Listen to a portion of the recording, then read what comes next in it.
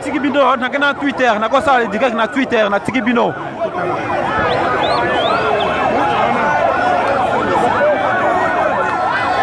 Deixa eu contar pra vocês, pessoal.